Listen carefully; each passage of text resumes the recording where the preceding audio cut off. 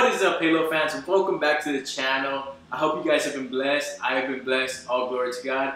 But my name is Greg Espinosa and we're going to be going over the new Halo Streets map that can be found in Halo Infinite. Really quick guys, if you're looking forward to Halo Infinite news and gameplay just like this video, consider hitting the subscribe button because I'm going to be dropping information once it comes out and also gameplay once Halo Infinite finally comes out in December. So make sure to hit the like button to show your support and also comment down below what you're looking forward to most in Halo Infinite.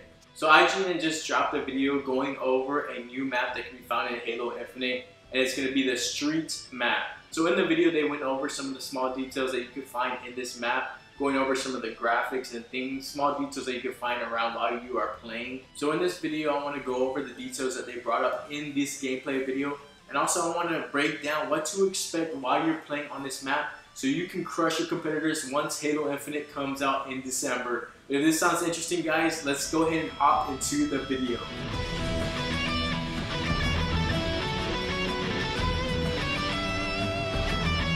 Alright guys, so going into the gameplay footage of this new map Streets. In this video we have some of the creators of this map going over some of the details that you can find around this map while you're playing and the intent of what the gameplay is supposed to be. So this map is going to be one of the small or medium maps and it's going to be geared towards 4v4 arena matches in Halo Infinite. So this map is a modern downtown type map with an insane amount of detail. In the video they go over all the details that you can find while you're playing on this map.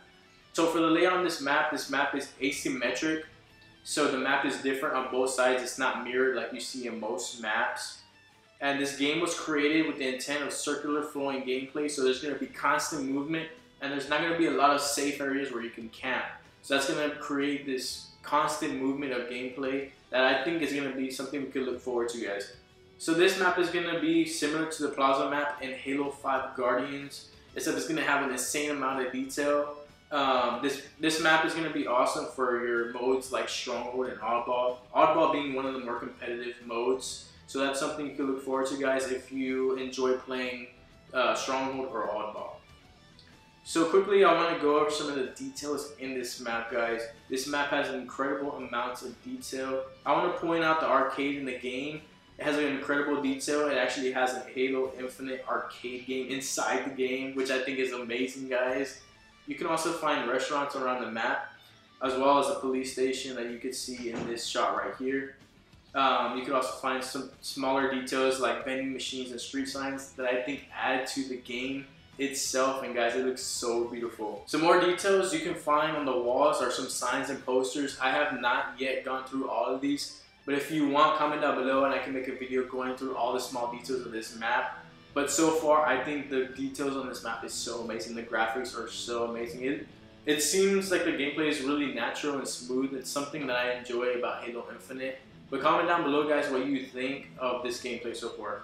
So another clip I want to point out is when he's running and you can see a small mouse uh, running by across the street. And I think it's a small detail that makes the game really immersive it's not so just standard, it's more like a natural feel and uh, more realistic, guys. And there's also a clip where you could see um, a city in the background, which I think is a pretty cool detail. I don't know, it looks like some type of like factory or I don't know really what it is, an elevator or something. But uh, overall, I think that's a really cool detail. So as far as gameplay, I want to point out that in the middle, the power weapons are going to spawn. So I expect a lot of people to rush the middle, and especially in the initial parts of a match. And that's probably going to be a focus point a lot in all your matches because that's where you're going to find like your rocket launchers and uh, more of your bigger, powerful weapons. And along the map, you're also going to be finding uh, abilities. Um, I know there's a shield on one side, and they're to have a bunch of your more standard uh, middle, I guess I guess you could call middle grade weapons. So maybe like your saw and stuff like that. But overall, I think the fact that it's a small map and it has a circular flowing gameplay, I think it's to be a really enjoyable game, especially because they're to have a bunch of weapons around the map as well as the power weapons in the middle of the map. So I think it's to be really competitive and it's to be a really fun map to play on. So like I said, you can expect a lot of movement on this game. Uh, not a lot of camping due to the small areas and not a lot of places to hide. So it's gonna be a lot of movement. So that's something you're gonna have to get used to if you're not used to. I also want to point out that I expect this map to be perfect for grappling gameplay, which is something I'm personally excited for.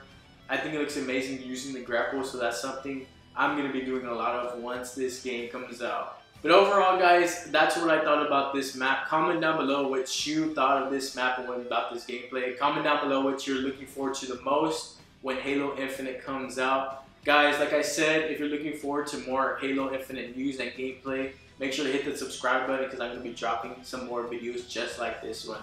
But that's going to be it for the video, guys. Thank you so much for watching. I hope you guys enjoyed. But until next time, I hope to see you in the next video. Y'all stay blessed. Peace out.